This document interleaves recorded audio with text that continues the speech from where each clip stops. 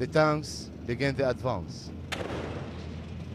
The militants of so-called Islamic State are cornered.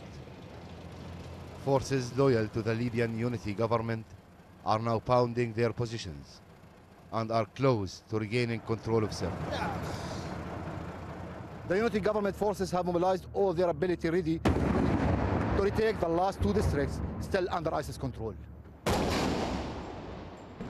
Islamic State hoped their headquarters in Sirte would provide a base to launch attacks into Europe. But now the extremists are about to be pushed out.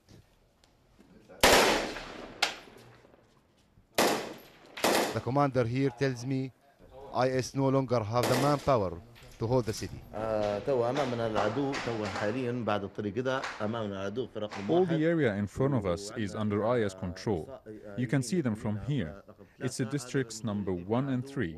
Within a few days, we will take over all this area by the help of God. But the fight isn't over yet.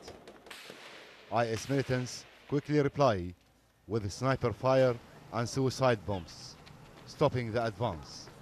احنا عندنا ناس تخدم في الخلف في الخفاء The military spokesman told us that they had expected these attacks, and he is confident with his men's progress. اعتقد بالنسبه للحي رقم ثلاثه آه، ثلاث ارباع الحي الان تحت We are now in السيطره control of 75% of District 3, and IS fighters have retreated towards the coast.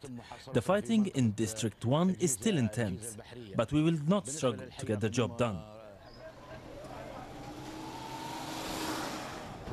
The gains here have come at a price. On the day we visited this hospital, over 30 fighters were killed, and we watched as medical staff battled to treat almost 200 men. Even if IS are forced out of Sirte, their threat continues. There is a strong feeling IS will regroup and return, causing more devastation in a struggling country with two governments and hundreds of militias competing for power. Feras Kilani, BBC News, Sirte.